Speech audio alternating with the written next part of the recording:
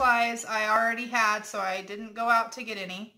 But um, I have a wine bottle here, an empty wine bottle where I took off the label and everything. I also have one of these bottle light stoppers that I purchased from the Dollar Tree a while back ago. Um, I've never used them. I had planned on doing this, but I had never gotten around to it. So I thought I'd go ahead and try it. But if you don't have one of these, you can always use the little fairy lights from the Dollar Tree or uh, a strand of Christmas lights that you may have. Um, but whenever the stores all open back up, just keep your eye out for these. Um, also, I'm going to be using some of this paint that I purchased from Walmart, and it is the Apple Barrel brand. Um, this is the acrylic paint, so I have it in real yellow. Uh, also have it in white. Um, also in Kelly green. And I may use some of the pumpkin orange. Um, so we'll see how that goes.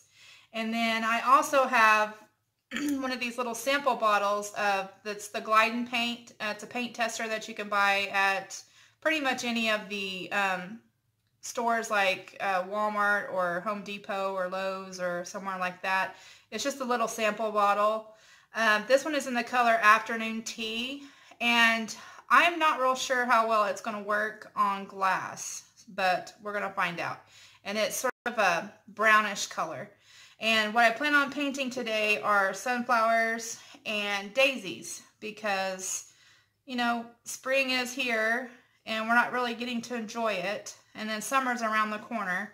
So, I don't know. I'm kind of having cabin fever and wishing that we could all go out and enjoy nature. But um, I also got one of some of these, I got two of them, the glass paintbrush markers. I purchased these from the Dollar Tree also. Um, I'm not sure if I'm going to be using these or not, so we'll just have to wait and see how it goes. Um, you'll also need some paintbrushes, and my paintbrushes are from the Dollar Tree. Um, I have already gotten out a little bit of the yellow paint already, and I am using this angled brush. It's the Master Stroke brand, um, angular brush number six, and I did purchase these from the Dollar Tree. I've never used them, though. So, I'm going to go ahead and get started. And like I said, I'm not, I'm not a great artist, but I'm going to go ahead and start painting some little sunflowers on here. And we'll see how this goes.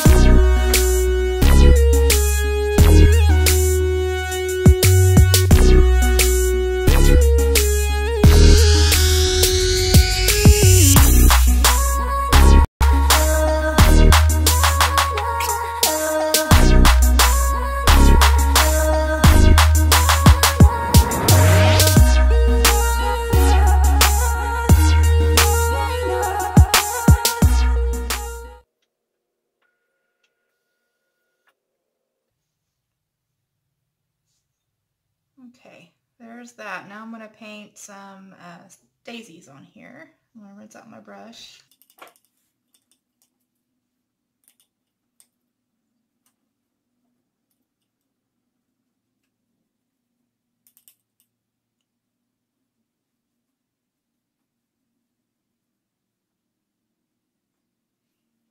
White.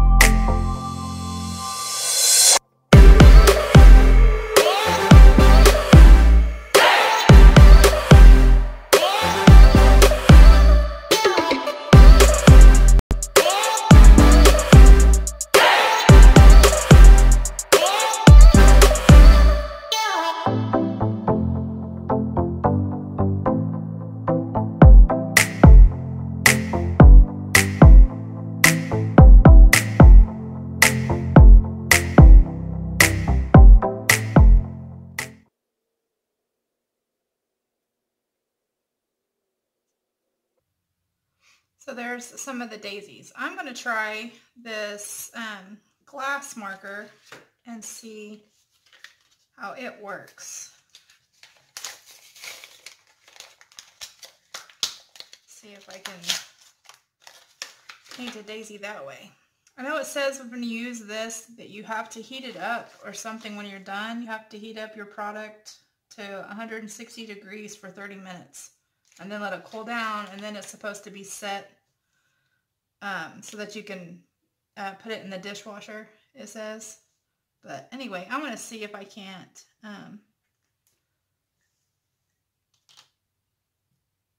do a daisy with this thing.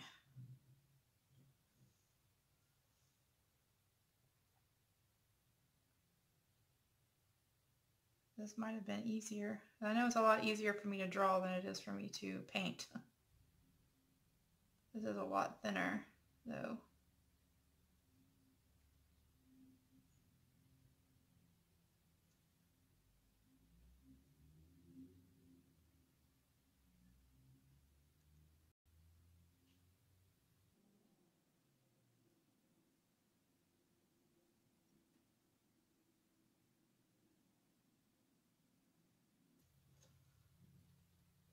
I mean, I like this because I have a little more control but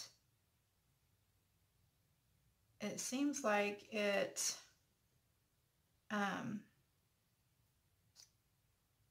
it takes longer. I mean, this would be good if you're doing like really small detailed kind of stuff. This would, would be good. But I think I'm going to go ahead and go back to my paintbrush. I think I like it a little, a little bit better. It seems to go a little quicker. Okay,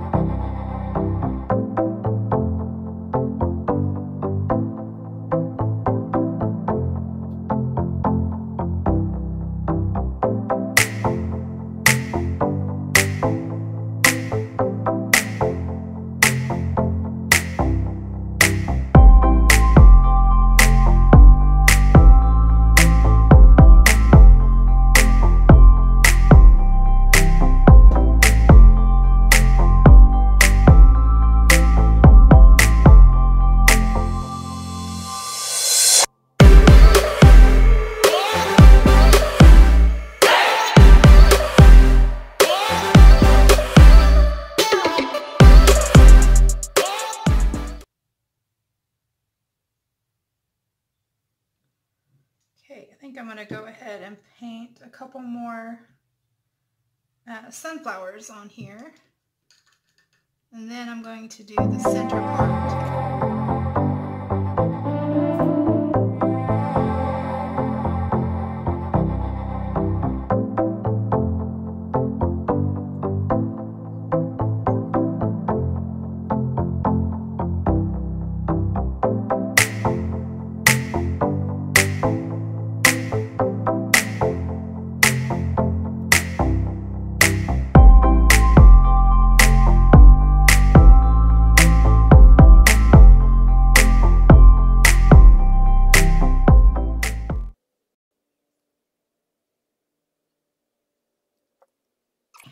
Just going to leave it like that. Now I'm going to go back through and I'm going to paint the center part.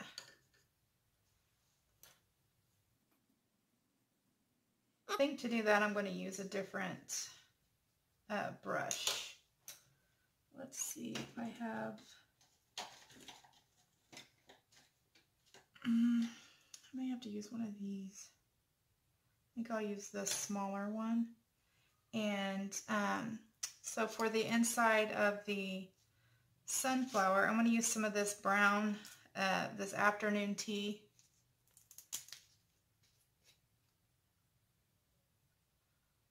I'm not real sure. May have to add a little bit of black to it because it's not, um, it's not a real dark brown color. It's sort of a light, sort of a tan color.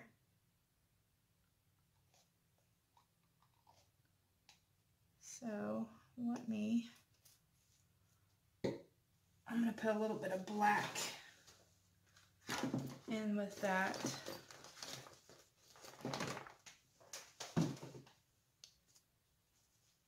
See if I can make it a little darker anyway. I'm just going to put one little drip of black and see if that's enough.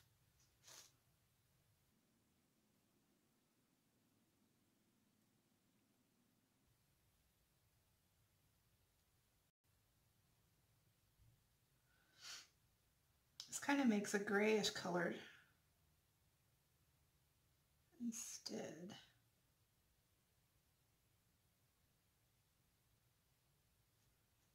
of a brown. So what I may do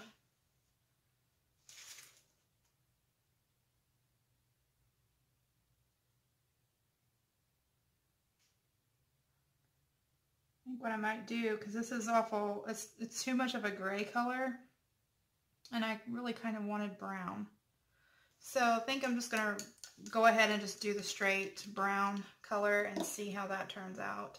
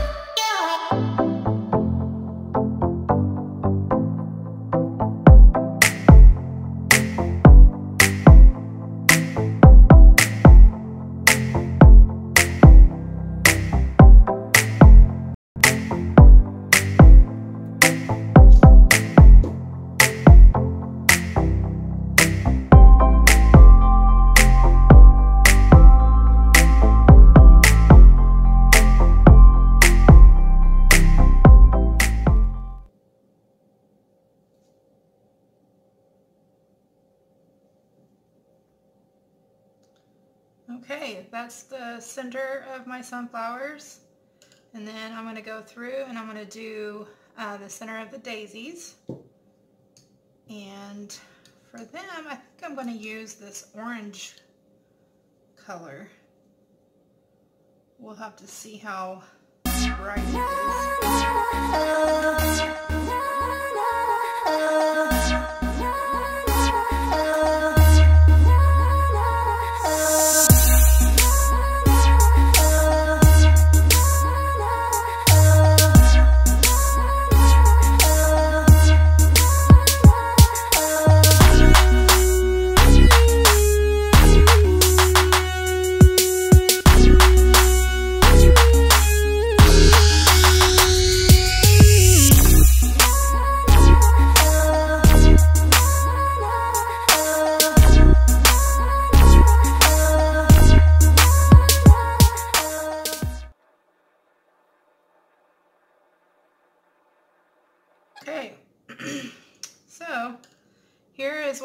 Like with the daisies on there and the sunflowers. I think it looks really cute. So now I'm going to go ahead and try and paint maybe some leaves on here or maybe stems or something. And I'm just going to use, I don't know if I said what paintbrush that was that I used for that, for the center um, of the flowers, but it's this uh, Master Stroke. Uh, it's a round brush number two. So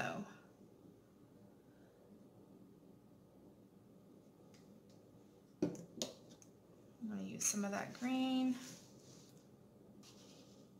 And then I think what I may do is, um, I think I'm going to go ahead and try this um, angle brush again to see if I can make some leaves so.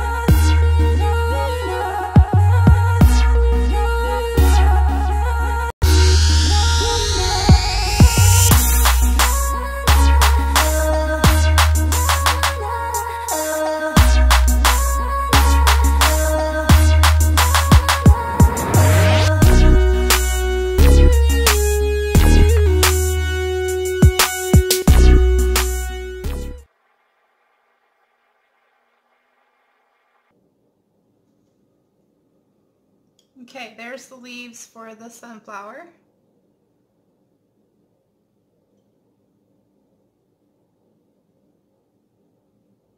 And if you wanted to go back in after it dries to give it a second coat, you could. But I think I'm just going to leave it kind of like that. I kind of like how it's uh, transparent a little bit.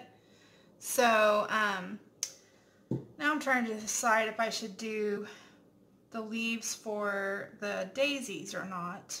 Um, I think I'm just going to leave the daisies like they are. But what I may do is go in and put some stems on them. And I'm just using um, the round number two uh, brush to do that. So let's see. Hope that you guys can see this.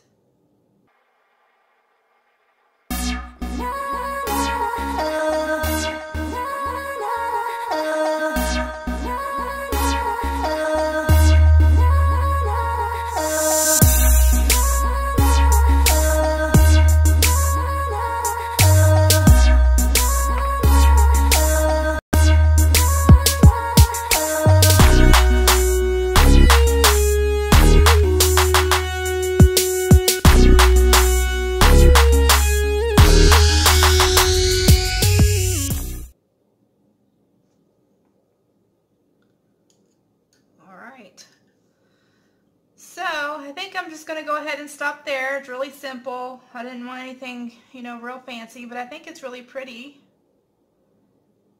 So I hope that you guys like this. I hope you try it. Now I'm going to go ahead and try to put this light thing in there. Excuse me. And like I said, I've had this for, I'd say probably two years. so if it don't work, I won't be surprised and I won't be disappointed because that's my fault for leaving it in my craft room for so long, but I'm just going to unravel it here. And it has an off and on switch. Oh yeah, it works. Pretty. Okay. Now let's see. I'm not straightening them out a lot. I kind of want to leave it a little bit curly. And then, oh, looky there. Awesome. So I will take you guys into a dark room so that you can see what this looks like. I think it's really pretty. Um, also, if you wanted to um, dress it up a little more, you could get some ribbon or something to tie around um, the top or uh, maybe some uh, jute twine or something to wrap around here. Um, it's totally up to you. So I'm going to go and show you guys what this looks like um, in a dark room. So, okay guys, so I'm in my bathroom, my guest bathroom, and this is what it looks like. Um, I think this is really pretty.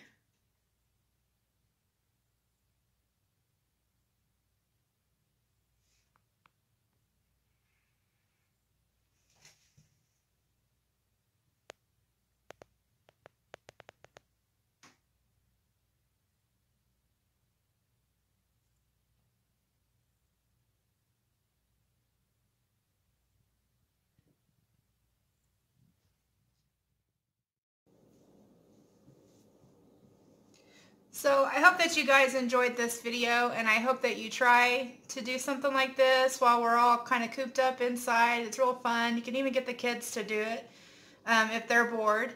But um, I think this is really cute and um, I really enjoyed making it. I know I'm not the greatest artist in the world, but I still think this is really pretty. And there are so many other things you could do if you had some um, like napkins or something, some really nice napkins from the Dollar Tree or wherever, uh, you could decoupage them onto a bottle.